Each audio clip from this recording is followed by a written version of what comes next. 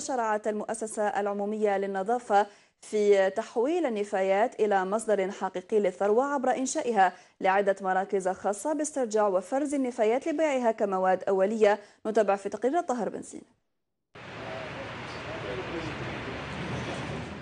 هنا بمركز الاسترجاع والفرز الانتقائي للنفايات القابلة للرسكلة برغاية تعمل مؤسسة إكسترانات على استغلال النفايات وتحويلها إلى مواد أولية يتم بيعها إلى المؤسسات المتوسطة والصغيرة والتي تقوم برسكلتها. استراتيجية اعتمدها القائمون على المؤسسة في تمويل ميزانيتها عبر تحويل تكاليف رمي النفايات في المفارغ العمومية إلى مداخيل صافية.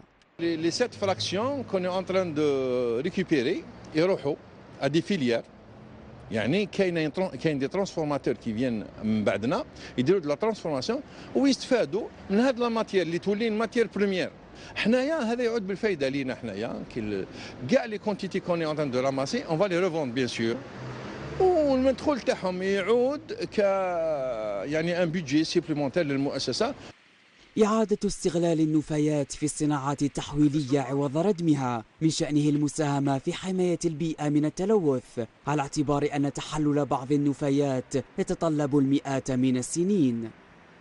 ال déchet حتى ونرموه هنا يروح تحت الأرض يعني في l'enfouissement ولا يروح في واد ومن الواد يروح للبحر راح يعيش ألف سنة.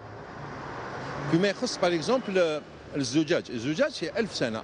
هذه المبادرة راح تخلينا نعلموا الناس كيفاش يحافظوا على المحيط البيئي تاعهم وعلى le cadre de vie de façon générale. هي تجربة صرانات في مجال استغلال النفايات كمصدر ثروة في القطاع الصناعي في انتظار تعميمها عبر كافة ربوع الوطن.